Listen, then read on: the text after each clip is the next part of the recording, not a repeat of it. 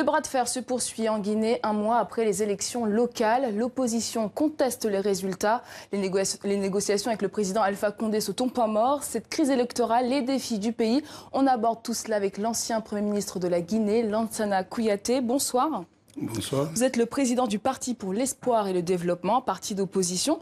Pour démarrer cet entretien, gros plan sur les derniers développements de la bataille de l'opposition. Je vous propose de voir ce reportage d'Atou Madiara avec Marie Valeret. Vous réagirez tout de suite après.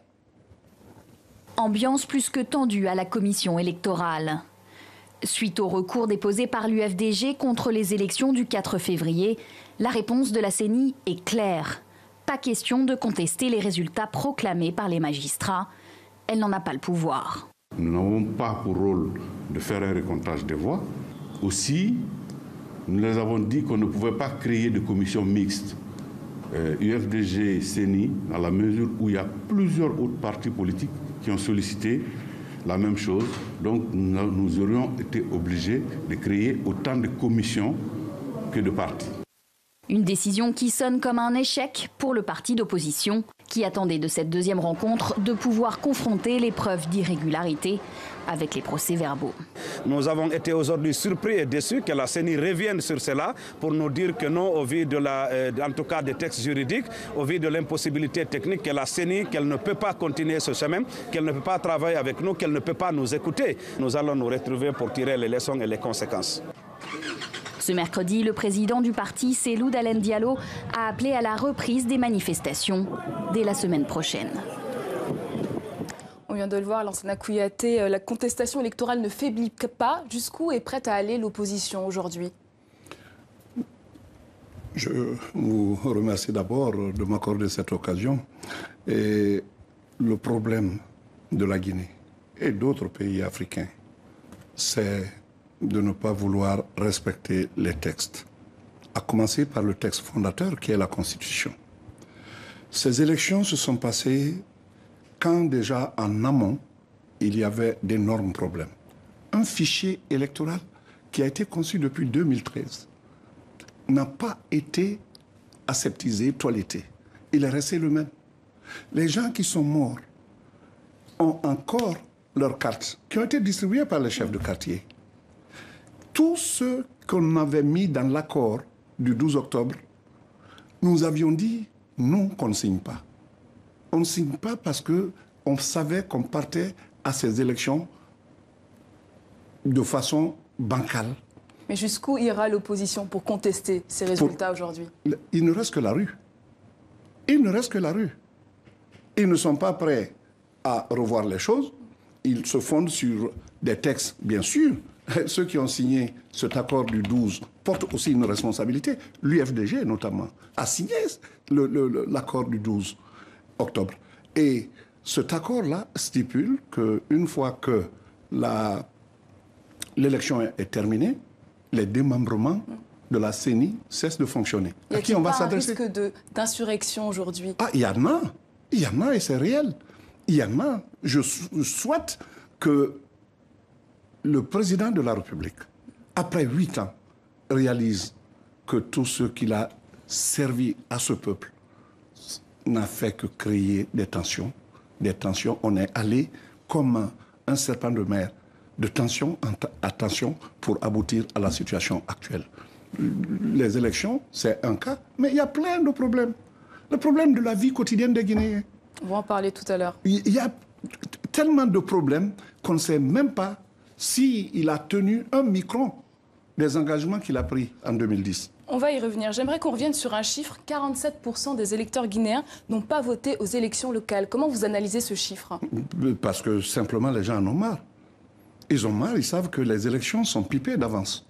J'écoutais des humoristes qui disaient que euh, les taux de participation aux élections sont faibles aux États-Unis et en France, mais en Afrique, euh, on sait déjà le résultat avant d'aller. Quand les gens savent ça, ils ne se mobilisent plus.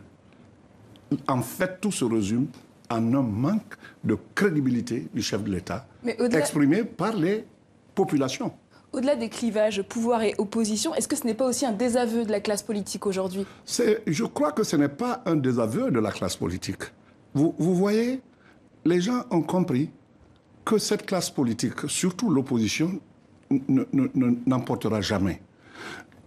Le président de la République, son parti, surtout son parti, tient absolument à garder les, les, maires, à garder les chefs de quartier, à garder... Ça fait combien d'années on n'a pas de maire?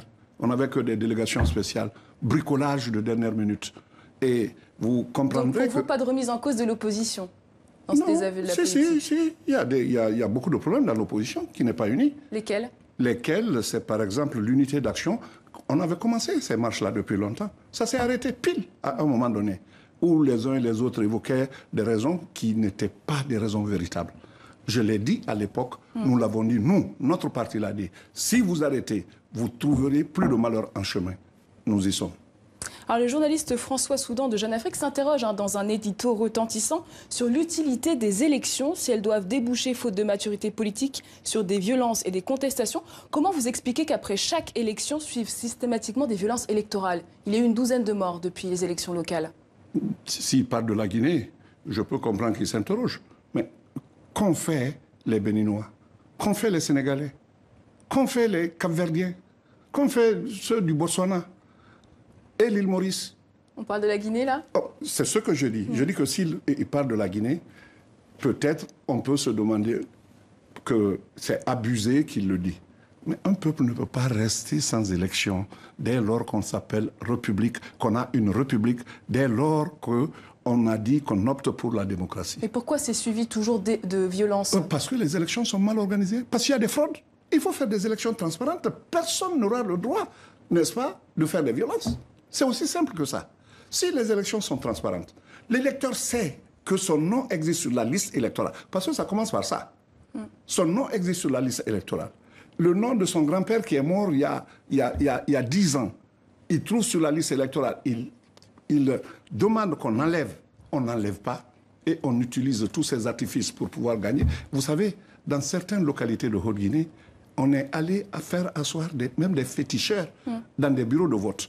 Dès que celui qui vote vient, il trouve le féticheur et c'est quelqu'un du parti au pouvoir qui est là, dans l'isoloir, pour lui dire tu dois cocher ici. En tout cas, pour vous, il faut revoir le fichier électoral. Dans une allocution euh, sur la chaîne ATVN, vous déclarez Mon parti ne sera pas ethnique. Est-ce que cette question ethnique est le problème de fond de la politique guinéenne? C'est un problème parce que une nation, on l'a définie rapidement par un peuple sur un territoire. Mm. Je dis que ça ne suffit pas pour créer une nation la nation, c'est à peu près une, sorte de, mouvement d'ensemble pour aller vers un objectif de bonheur, de prospérité, et basé sur une langue officielle, au lieu de continuer avec les dialectes qu'on vit dans cette situation. C'est un problème réel. Les clivages ethniques sont réels en Guinée. Comment expliquer ce déni aujourd'hui? Ce déni de, de, de, l'ethnie Oui, beaucoup disent que ça n'existe pas, ces rivalités ethniques. Que ça n'existe pas Oui. Ceux qui le disent ne, sont, ne disent pas la vérité. Ceux qui le disent ne disent pas la vérité. Allez, les, les, les hommes politiques utilisent ça. Hmm. Beaucoup d'hommes politiques. Pourquoi j'ai été amené à dire que mon parti ne sera pas ethnique? Et tout mon comportement le prouve. Mais d'autres, on sait ce qui se passe. Ce n'est pas la peine de se cacher. Il ne sert à rien de balayer le tapis et de mettre les ordures sous, sous ce tapis pour dire qu'on est propre. Donc on va évoquer à présent un sujet qui préoccupe au quotidien les Guinéens, le manque d'eau et d'électricité. On dit souvent que la Guinée est le château d'eau de l'Afrique. Et pourtant, euh, c'est paradoxal, euh, les gens manquent d'électricité aujourd'hui. La vraie richesse d'un peuple, d'un pays, c'est ici. C'est le cerveau. Il faut réfléchir. Il y a des peuples qui n'ont pas d'eau. A aujourd'hui des besoins. Les besoins, oui. Mais la Guinée a tout cela. La nappe phréatique de la Guinée fait à peu près 173 000 milliards de mètres cubes d'eau, la nappe phréatique. Vous creusez le sol, vous n'allez même pas... Comment expliquer ce paradoxe Ce paradoxe, c'est parce que nous manquons de volonté et les gouvernances ont été mauvaises. Hmm. Ceux qui veulent bien faire, on les fait vite passer parce qu'on eh, s'est encrassé dans ce que j'appelle le détournement permanent. Alors, il y a dix ans, en tant que Premier ministre, vous preniez aussi la primature du pays euh, secoué par une grève générale depuis plusieurs semaines. En 2018, on a le sentiment que la Guinée est toujours dans ce marasme. Comment vous expliquez ça? Ah, il faut situer... Pourquoi rien n'a changé? Il faut... Non, il y a beaucoup de choses qui avaient changé. Mais ceux qui sont... Quand vous venez, moi j'étais convaincu, je suis resté que 15 mois, Et je vous assure, j'étais préparé à ça parce que Mm. je disais, quand vous voulez changer et que les forces d'inertie sont fortes, résistantes, Mm. Et, ne, ne prenez pas trop de temps d'ailleurs. Je l'ai dit à mes ministres, je dis, ne pensez pas que vous êtes venus pour rester pour l'éternité. Vous verrez les combats de toutes parts. Et il y a beaucoup d'hommes qui parlent aujourd'hui au nom de la démocratie, qui ont combattu le gouvernement de ce consensus, qui, et c'est ma profonde conviction, étaient en train de faire un travail merveilleux pour ce pays. Alors, Sana Kouyaté, vous avez fait l'ess- l'essentiel de votre carrière euh, dans la diplomatie internationale, sous-secrétaire euh, général de l'ONU, secrétaire exécutif de la CDAO. Alors, secrétaire d'État américain Rex Tillerson euh, est en tournée africaine. Comment vous percevez la politique africaine de la diplomatie Trump? S'il y a une politique africaine pour l'instant, je ne sais pas. Il ne faut jamais se presser pour juger les premiers pas. Si on devait juger à partir des premiers propos ou des premiers pas, on serait aujourd'hui dans la désaffection totale. Parce qu'on a prêté au président Trump euh, des propos qui déçoivent et qui doivent décevoir tout Africain. Bon, que Rex Tillerson vienne aujourd'hui pour visiter cinq pays africains. La seule chose que j'admire chez les Américains, ils savent où se trouvent leurs intérêts. Et ils savent y aller. La politique extérieure d'un pays a pour premier point la défense des intérêts du pays par la négociation, si possible, par la conviction, de, par de convaincre les, les autres, si possible, par l'amitié, si possible, mais souvent même par la guerre. Les gens se trompent totalement quand on définit la diplomatie ou les relations internationales. Et justement, dans la lutte contre le terrorisme, la France a pris le leadership. Les États-Unis se désengagent plutôt. Comment sortir de la sous-traitance par les États africains de leur sécurité? Et il faut que les Africains réalisent que cette sous-traitance cette ne continuera jamais. Il faut se dire la vérité.